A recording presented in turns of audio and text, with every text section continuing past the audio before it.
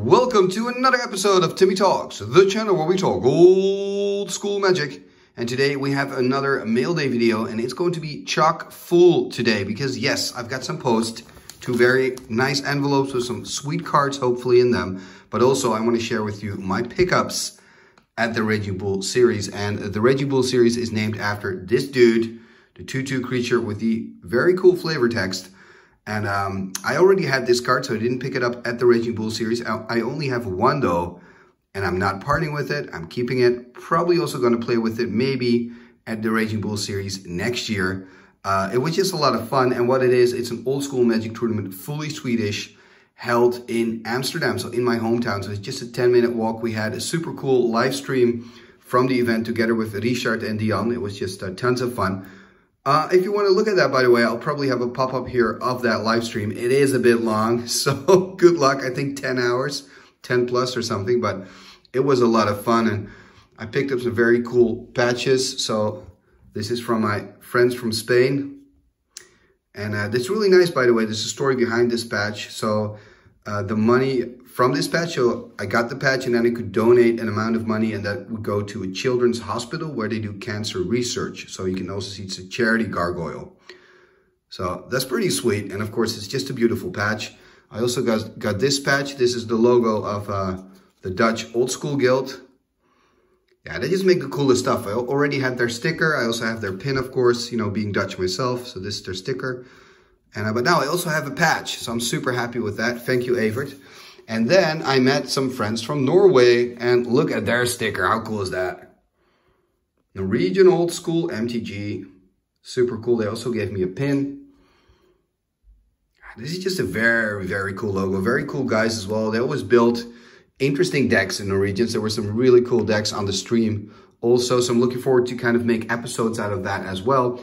Then um, I also did some pickups at Wijnand, who's the local vendor. Look at this beauty. I mean, I had I had to pick up this Sengir Vampire. Look, look at it. I don't know. What has happened? I asked Wijnand, the dealer, Power 9, what has happened to this card? He had no idea.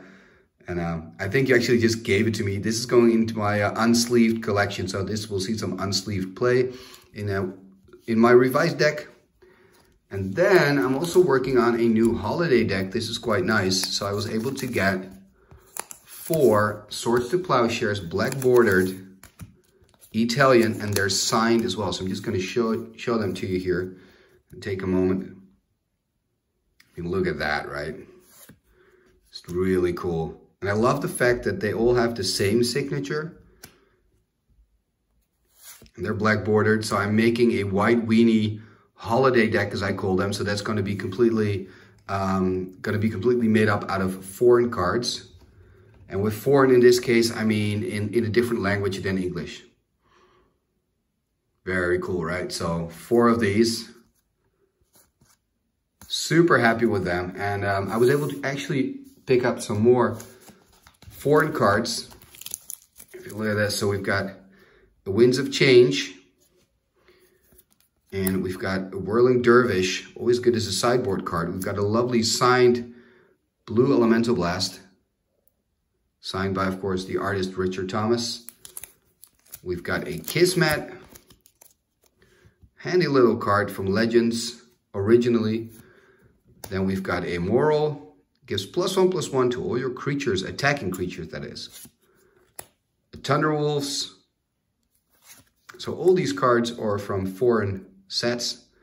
Ironclaw Orcs, Primordial Ooze, I believe. This is such a cool card to just, and as you can see, it was just 10 cents. So I just had to take it with me.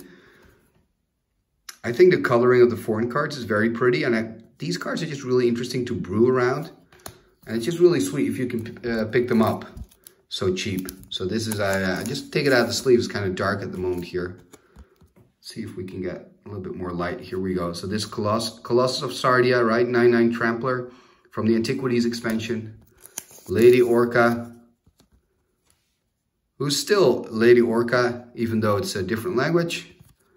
Yeah, and this is really beautiful, right? The Princess. What a fairy tale card.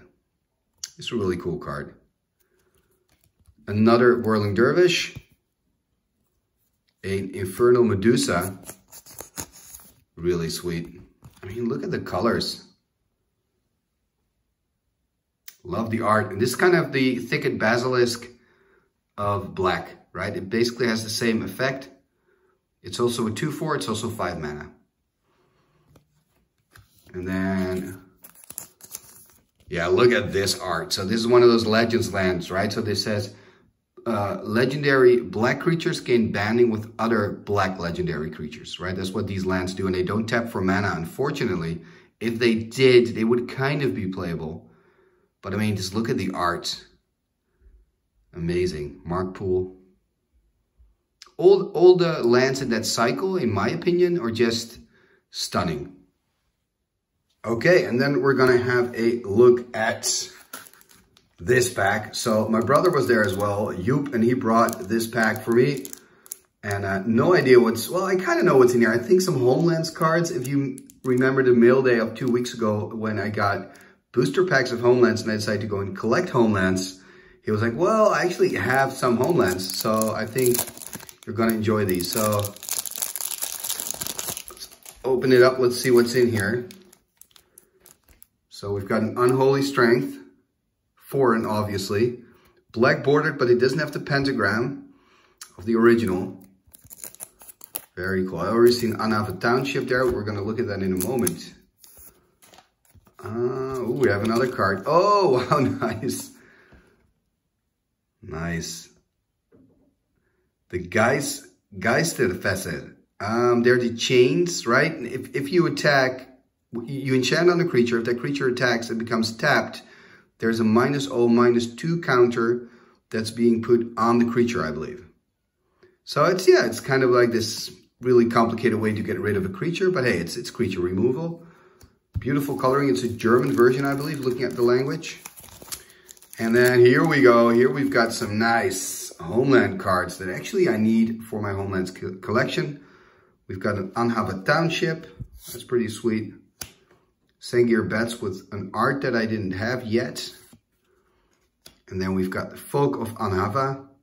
The interesting thing of the art is when you look close, she's actually not that old. Like, don't get me wrong, she's not young, but when you look at from farther away, let me zoom in properly again. She looks like really old, like a granny, but when you look closer, I don't know, maybe it's just me, but when you look closer, she kind of looks younger. Um, Feast of the Unicorn. Yeah, this is a type of art I don't have yet. Remember, Homelands was still one of the sets where they had different types of art for the commons. So when you're collecting the set, you also want to have all the different types of art, of course. Another Feast of the Unicorn, but then different art. So here you can see that, right? The same card, different art, also the same artist. Ooh, it's also nice. So the same artist gives you two different interpretations of the art of the card. That's kind of nice. And we've got Torture. Yeah, the art here is just phenomenal. Phenomenal. Oh man, I, I wouldn't want to be this guy. I mean, this is not ending well. Torture, again, a card that works with counters. So uh, it's kind of interesting. So you choose a creature, you pay one black and one, and you put a minus one, minus one um, on counter on target creature to torture enchants. Pretty interesting. Another torch. Okay, I'm not sure why I need multiple torches, but thank you. Oh, Castle Sengir. That is sweet. I'm really happy with that. And also Prophecy, where you see the Eisenshade in shade in the eye. I just love the art again. But yeah, this is an epic card, of course, Castle Sengir. I just wish they would have done, you know, one in tap blue, one in tap red, and just tap for black. You know what I mean? Then the card would be super playable. Unless, uh, I mean, unfortunately, they decided otherwise. It is what it is. It is what it is. Prophecy, maybe I can discuss what it does really quickly. Instant, no sorcery for one, not an instant. Reveal the top card of target opponent's library to all players. If it is a land, you gain one life. That opponent then shuffles his or her library, draw a card at the beginning of the next turn's upkeep. So this is one of those cantrips that you saw in Ice Age for the first time. So Prophecy, pretty, pretty weak card, but there could be scenarios where it could be useful. You, of course, have some cards, um, like you have the Counterspell in Homelands, Memory Lapse, where the opponent has to put it back on the top of their library, then you can combine that with Prophecy so that they have to shuffle that card back into their library. So that would be a nice little, you know, synergy, a little combo that you can play this card with. And then we also have these. So these are obviously opened boosters, but still really cool boosters. Busta Seconda Edizione. Really sweet to have these older booster packs. Great, thank you for adding it. So this is the Italian Revised, isn't it? I think so. I think so. So I'm collecting booster packs as well. So this is going to go in my um, collection. Thank you very much, Yoop. Super cool. Super cool, man. And then we've got some cards in here. Maybe this is what he found in there. Oh, this is actually the not revised. Could it then be fourth edition? Because it says second edition and it's not black bordered. So I guess it's the fourth or fifth edition of the Italian reprint. Anyway, we've got a swamp, We've got a forest. We've got a mountain. Ooh, do we just have a little land pack here? That would be sweet. Oh, no, we don't. We got a blessing. Benedizione.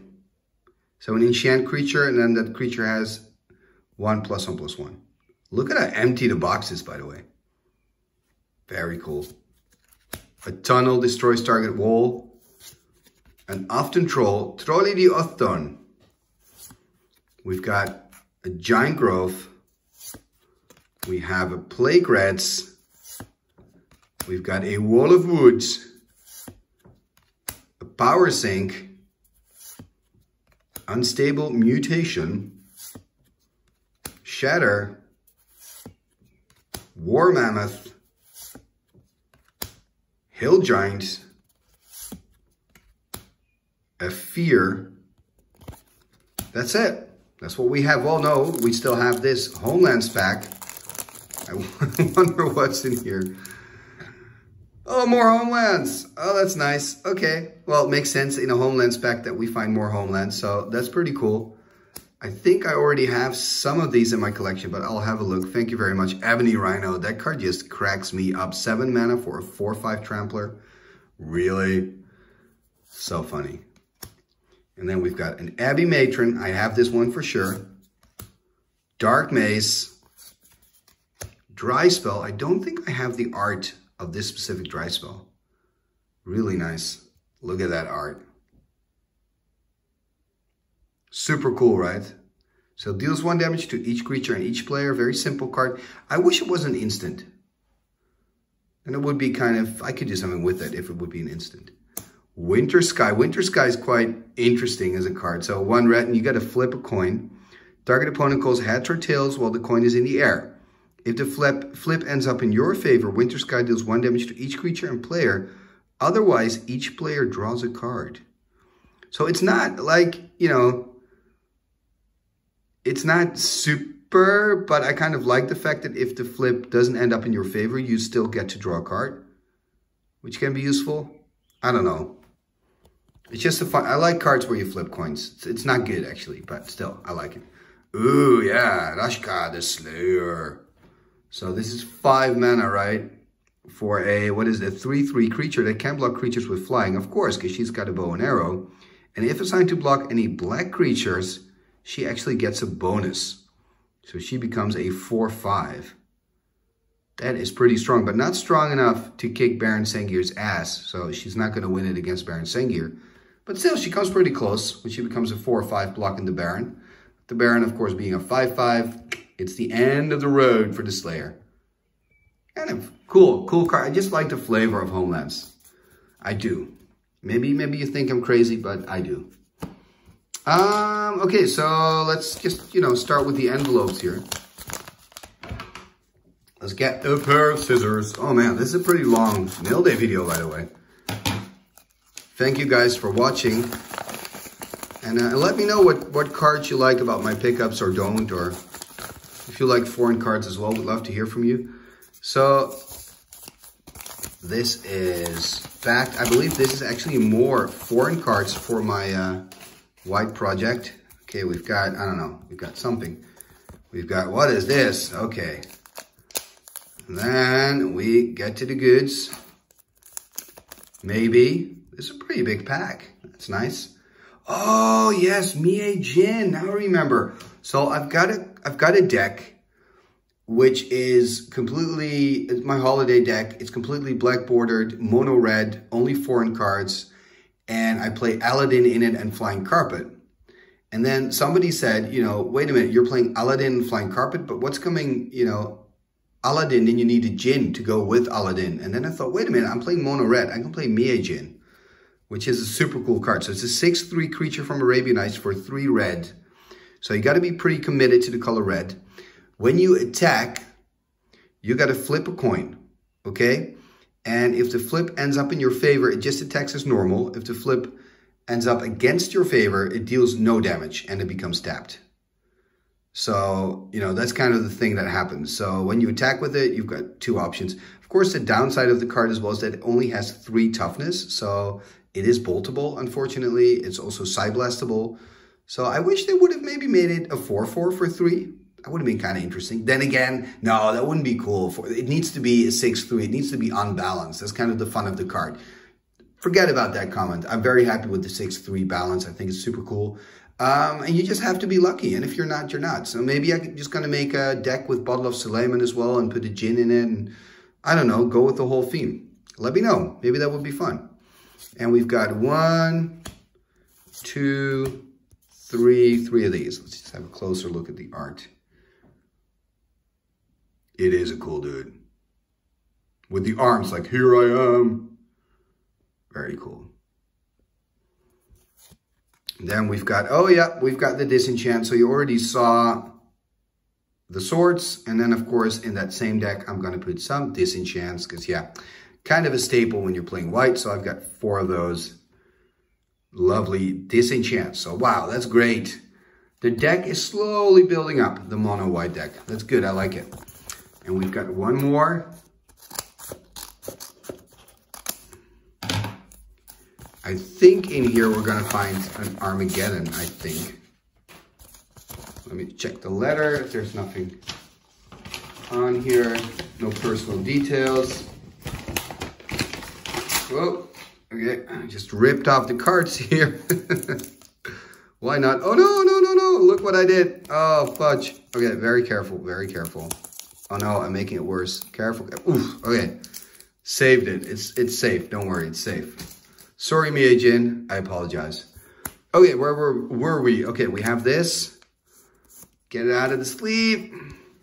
Get out of here. Oh, another disenchant, but I already have Okay, well, thank you. Pretty cool. Armageddon. Ah, there we go. Armageddon. Yeah, pretty sweet. I believe this is a Spanish Armageddon 5th edition, but I could be wrong. Let me know in the comments below if you're absolutely sure. So um, I also have Italian land taxes, so they're going to go in the same deck. And then, hey, Blanish, Benalish Hero, two of those. I can, they're, they're playable in White Weenie. I, I can make them work. Yeah. So, um, this is it. That was a full-on mail day video. Whew. So lots, lots of cool cards and uh, goodies. Um, thank you to everybody who attended the Raging Bull series this year, by the way. It was just a lot of fun. Also, thanks to all the people that viewed the live feed and were on the stream. It was, uh, it was cool definitely. I'm already looking forward to next year. And for now, thank you very much for watching another episode right here on Timmy Talks, the channel where we talk old school magic. See you next time. Oh, wait, before I forget, I'm going to stick on the sticker of the Norwegian old schoolers. So let's open it up. I think I'm going to put it here. This kind of fits. Uh, let me put this here I'm Just gonna take it off.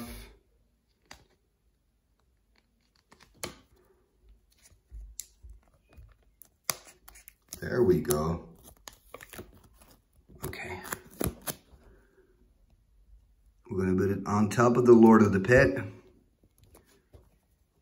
And boom, look at that. It fits perfectly. Let's see if I can still close the box with the magnets because they're on the other side. Well, that works.